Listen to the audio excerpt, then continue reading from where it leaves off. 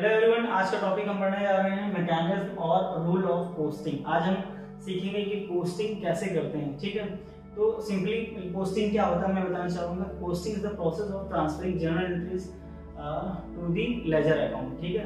मतलब जो journal entries होते हैं, उनको हम स्पेसिफिक लेजर अकाउंट में ट्रांसफ़र करते हैं। तो अब ये कैसे करते हैं? ये प्रोसेस कैसे होता है पोस्टिंग का बहुत सिंपल है। कुछ नहीं है। तुम्हें मैं मैं मैं जो बता रहा हूँ, वो आपको ध्यान से सुनना है। और आप एक जनरल एंट्री में आप सीख सकते हैं कि पोस्टिंग कैसे होती है।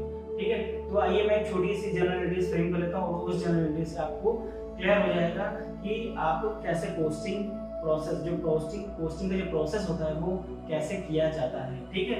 टू दी लेजर अकाउंट्स ठीक है? तो सबसे पहले मान लीजिए कि हमने गुड्स को परचेज किया क्या किया गुड्स को परचेज किया? तो एंट्री हमने क्या की होगी purchase account debit to cash account ठीक है? तो ये हमने क्या बना लिया? जर्नल बना लिया। क्या? जर्नल बना लिया। ठीक है? अब जर्नल बनाने के बाद हम लोग क्या करते हैं नेक्स्ट प्रोसेस हम इसी एंट्री को ट्रांसफ़र करते हैं लेजर में। इसमें हम ट्रांसफ़र करते हैं? लेजर ये हम भेज देते हैं इसको लेजर ठीक है? अब लेजर्स क्या होता है? अब लेजर्स क्या होता है कि हर एक सेपरेट अकाउंट की एक अलग से अलग बुक बनती है। मान लीजिए यहाँ पे परचेज अकाउंट बनेगा और एक कैश अकाउंट बनेगा। ठीक है? तो पोस्टिंग का प्रोसेस जो बताने आपको बहुत ध्यान से देखना है।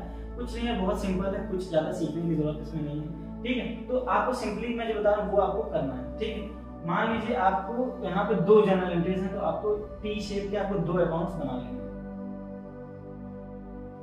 ठीक?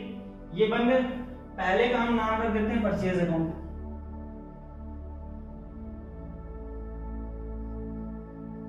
और दूसरा अकाउंट कौन सा है? कैश अकाउंट तो दूसरे का नाम लिख देते हैं कैश अकाउंट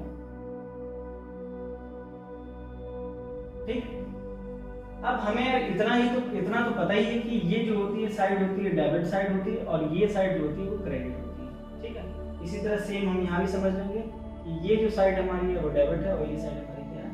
क्रेडिट साइड ठीक? तो इसको मैं डिवाइड कर देता हूँ जिसमें कंफ्यूजन ना हो, ठीक? ये दो अलग अलग ठीक? ये परचेज अकाउंट है और ये कैश अकाउंट है। अब बारी आ गई पोस्टिंग की। ठीक है पोस्टिंग कैसे करी जाए? बहुत सारा कंफ्यूजन रहता है कि हम कैसे पोस्टिंग करें। ठीक है, और और जब आप जर्नल बना लेते हैं पोस्टिंग नहीं कर पाते तो आपका फिर जर्नल मान लीजिए सही हो गया, आपका लेजर गलत है, फिर आपका ट्रायल बैलेंस गलत है, फिर उसका पीएनएल ट्रेडिंग फाइनल मतलब सब कुछ आपका गलत हो जाएगा। अगर आप प्रोसेस ऑफ़ पोस्टिंग नहीं जानते कैसे पोस्टिंग करी जाती है तो मैं आपको बहुत ही सिंपल तरीके से बताता हूँ। ठीक है? तो आप आइए, पहले इस जर्नल को पढ़िए। जर्नल क्या लिखा है? परचेज अकाउंट डेबिट क्या? परचेज अकाउंट डेबिट ठीक? तो अब ये बताइए परचेज अकाउंट यहाँ पे लिखा है?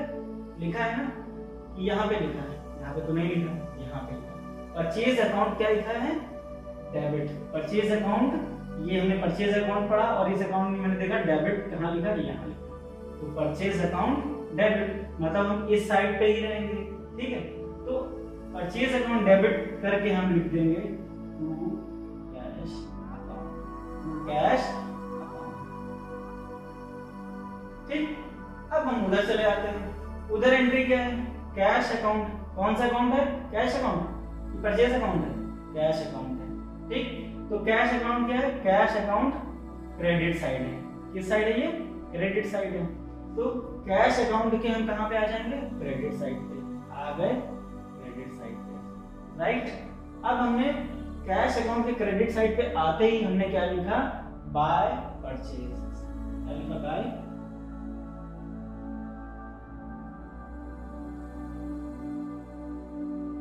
ये हमारी हो गई एंट्री अब हमें पता है कि डेबिट साइड टू यूज़ करते हैं और क्रेडिट साइड बाय यूज़ करते हैं. ये हो गई सिंपल सी पोस्टिंग ये बताओ कितना बहुत ज़्यादा टफ था ना?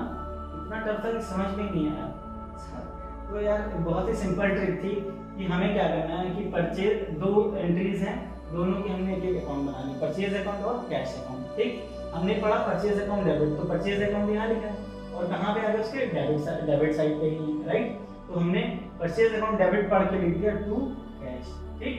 आपको ये वाला टू ध्यान में नहीं रखना। आपको सिंपली ध्यान रखना purchase account debit purchase account के डेबिट साइड पे आ जाइए। और जो नीचे एंट्री है, वो आप यहाँ मेंशन कर देंगे। इसी तरह कैश अकाउंट में आप देखिए कैश अकाउंट ये बना हुआ है और ये किस साइड में है? क्रेडिट साइड पे। तो यहाँ हम चले गए क्रेडिट साइड पे। ठीक? और क्या लिख दिया? बाई ठीक? अब हम एक और एंट्री ले लेते हैं सिंपल सी, जिसमें आपको थोड़ा सा और क्लियर हो जाए। ठीक है? एक हम एंट्री यहाँ पे ले लेते हैं सेल की। किसकी ले लेते हैं? सेल की। ठीक है? मान लीजिए हमने गुड्स को सेल किया तो हमने एंट्री क्या करी होगी? Cash account debit to sales account to sales account ठीक? अब मैंने फिर वही वही वही रूल अप्लाई करना है। क्या करना है? वही सेम रूल ठीक? यहाँ पे हमने परचेज अकाउंट बनाया था तो अब हम यहाँ पे क्या कर देते हैं? यहाँ पे सेल्स अकाउंट बना देते हैं। कौन सा?